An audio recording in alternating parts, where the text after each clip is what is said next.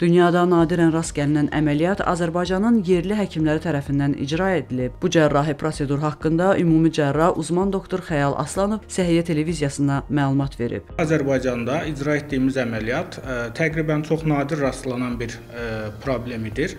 Bir xəstədə eyni zamanda ə, böyrək xərçəngi və öd kisəsində daş və bu daşın öd yollarına düşməsi ilə qarşılaşmışdıq. Öd yollarına düşən daş ə, spontan olaraq bağırsaqlara keçdikdən sonra ə, biz xəstəyə eyni zamanda laparoskopik xolestektomiya və laparoskopik sağ nefrektomiya əməliyyatını icra etmə qərarı aldıq.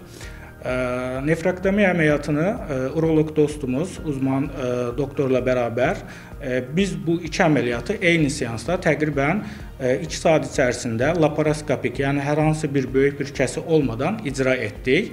Təqribən 1 sm və yarım sm olan 4 ədəd 4 ədəd kəsiklərdən istifadə edərək ilk öncə sağ böbrəyi çıxartdıq, hər hansı bir problemlə, bir komplikasiyonla qarşılaşmadan, ardından isə əlavə bir kəsik icra etmədən eyni deliklərdən, eyni trokar yerlərindən girərək laparoskopik xolestektomiya əməliyyatını icra etdik.